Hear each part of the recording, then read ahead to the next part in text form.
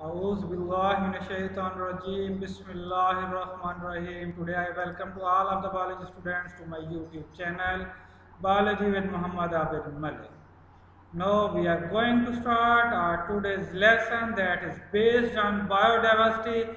First of all, we try to understand about today's objective.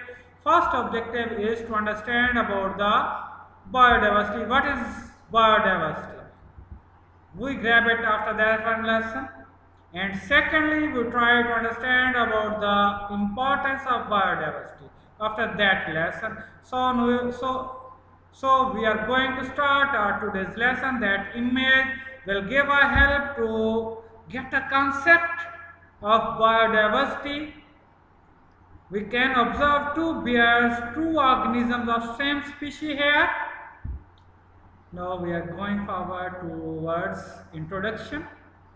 At least 10 million kinds of organisms inhabit the earth, but less than one third of these have been studied and catalogued by a biologist. Over 1.5 million types of animals and over 0.5 million types of plants are known to biologists and other about 6 million to 7 million uh, species, organisms are still unknown for a biologist. Biodiversity is made of two words, one is the bio and second is the diversity. We try to understand about these two words as you are well aware, bio means life, then we try to understand about diversity. Diversity means variety within a species and among species variety within a species and among species. So, we try to understand about biodiversity. Biodiversity is a measure of the variety. Biodiversity is a measure of variety of organisms present in different ecosystems. Secondly, we try to understand about flora and fauna which makes the biodiversity. The diversity of plant system does flora and the diversity of animals in a region is termed as fauna. That image shows the image of flowers, plant shows flora and the image of animal shows fauna. So we can easily grab it from these pictures what's the flora and fauna. Where the matter is concerned of dependency of biodiversity, biodiversity depends on climate altitude, soil, the presence of other species, presence of biodiversity, it is richest in the tropics. Temperate regions also have many species. There are fewer species in polar regions of course due to a temperature. Due to a cooling factor, there are fewer species. Biodiversity on earth on earth biodiversity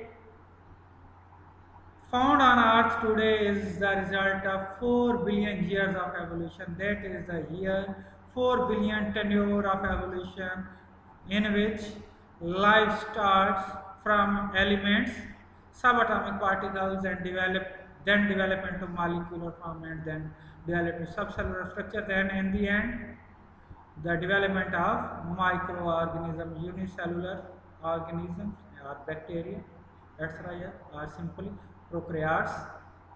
The origin of life is not well known to science, though limited evidence suggests, suggests that until 600 million years ago life started on Earth. All life consisted of bacteria and similar unicellular organisms about before 600 million years ago know that life then developed from bacteria to human up to this. Now we are going forward towards today's second objective biodiversity, importance of biodiversity for human. Human depends on biodiversity on the due to food base. We depend on biodiversity due to drugs, raw material for different compounds. Benefits Of course, we have already described about this one. Biodiversity provides food for humans. A significant portion of drugs are derived directly or indirectly from biological sources. Local drugs are that extracts we got from plants. A wide range of industrial materials, building materials, fibers, dyes, resins, gums, adhesives, rubber and oil are derived directly from plants that are the little benefit. Other benefits for other organisms. Biodiversity plays important role in making and maintaining ecosystem. Without biodiversity, ecosystem making and maintaining becomes impossible because ecosystems are based on biodiversity. It plays an important role in regulating the chemistry of our atmosphere and water supply. Biodiversity is directly involved in recycling nutrients and providing fertile soil like recycling of nitrogen, recycling of oxygen, recycling of carbon dioxide, similarly recycling of water. That are the cycles which are maintained by the biodiversity. In the last, we are going forward towards our last segment that's based on evaluation. What you like to share about biodiversity? If you grab about biodiversity, please put it in the comments. Second question, what do you know about flora? If you grab it, then please put in the comments. Secondly, thirdly, differentiate between flora and fauna. If you know about the difference of flora and fauna, please put in put it in the, into the comments.